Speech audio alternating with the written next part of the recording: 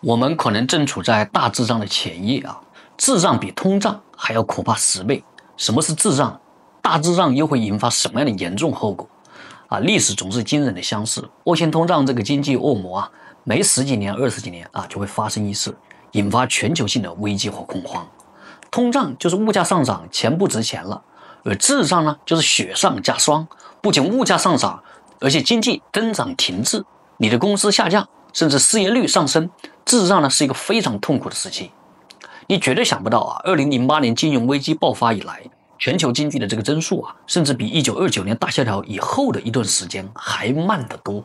二零零八年的欧盟 GDP 就达到了十九点一六万亿美元，十五年过去了，二零二三年欧盟的 GDP 是一十八点三四万亿美元，竟然还下降了零点八二万亿美元，这是一个比烂的时代啊！法国和意大利 GDP 增速只有百分之零点九，德国 GDP 竟然出现了负增长，经济增速低，但是通胀率却居高不下。发生恶性通货膨胀的国家有两个，分别是这个土耳其、阿根廷。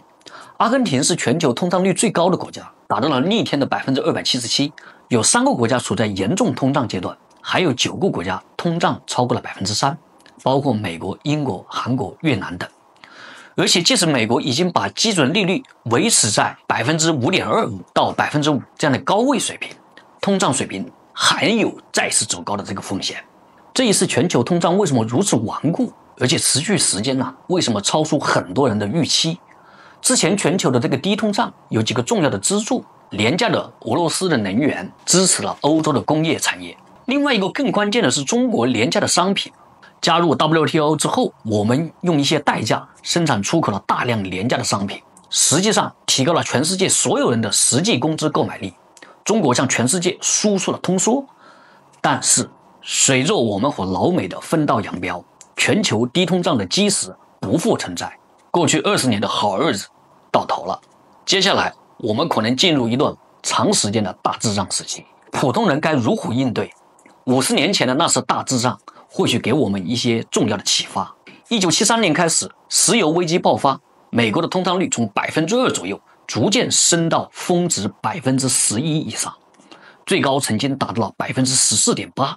如果从一九六九年 CPI 突破百分之五计算，到这次通胀结束，整整持续了长达十三年的高通胀时代。为了遏制通胀，美联储不得不把利率抬到一个很高的水平，最终产生了严重的后果。